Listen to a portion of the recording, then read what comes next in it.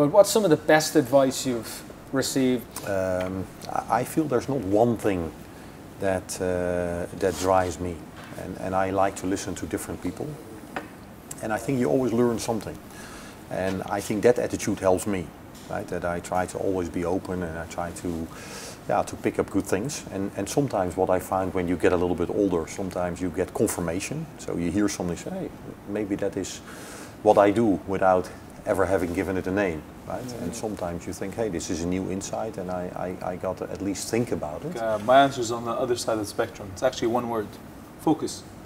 And when I was when I was younger, focus for me felt limit, limiting. It felt like you, I need to do one thing only and do that thing.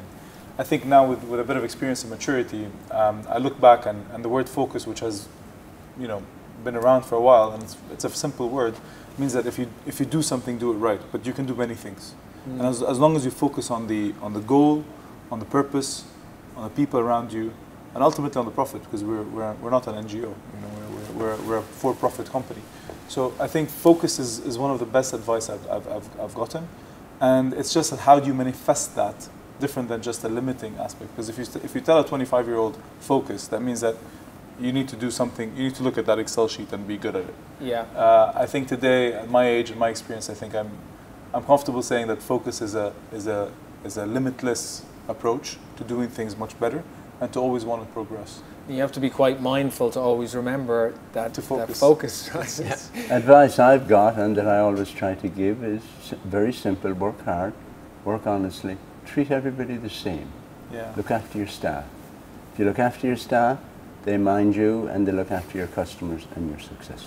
Well, I'm going to say something, and we may even have to cut it out of the film because it will sound very fawning and obsequious. But honestly, out of all the people I've met, you're one of the warmest people. When you meet Colm, you're Yeah. in his, you've an aura, and you're in your space, and you can see that you're very focused. I remember the first time I met you was in Dublin at a conference. Oh, when I spoke at that Yeah, that's right.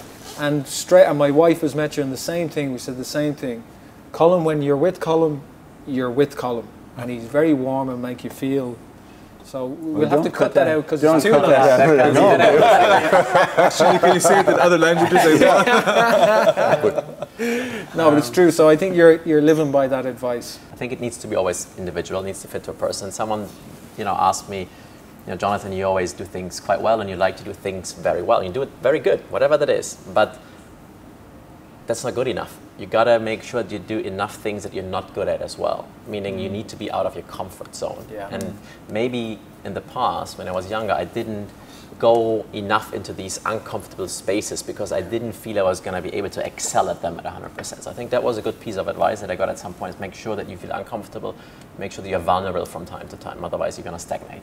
Something one of our members said to us recently this year. He said to me, I was having a meeting with him, and he's a billionaire, right? So he's being pretty successful in life, depending on your definition of success, of course.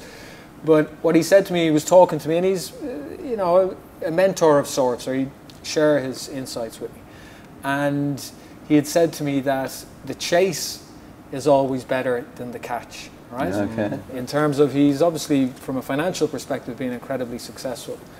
And it was something that kind of resonated with me in the sense that, again, similar to you, I like to do things quite well and I'm unashamedly ambitious and I want to get on.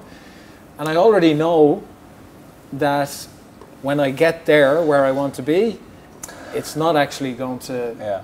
be all that Feel fulfilling, no. right? Which is probably comes down to more personal purpose and what you should be doing. Um, but I thought that was quite interesting because it made me recognize, or I already knew, but it helped me recognize now that these goals, etc., that I set for myself, and I'm quite fastidious about my goals as well, um, that I know when I get there that they're perhaps not going to fulfill me anyway. Yeah. So then I need to really be clever about it now. I've realized that now, whereas if it's fair to say, my, my friend who gave me this advice, you know, he spent many decades getting there and realized it then. It's like climbing hmm. to the top of the mountain and realizing there's nothing there.